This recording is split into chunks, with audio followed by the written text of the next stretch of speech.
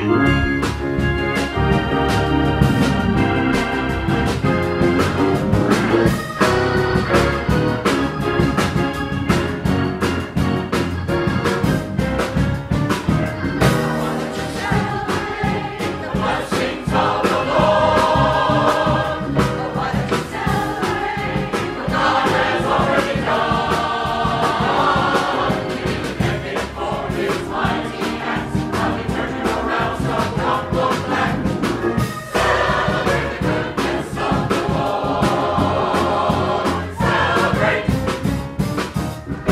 faith in God.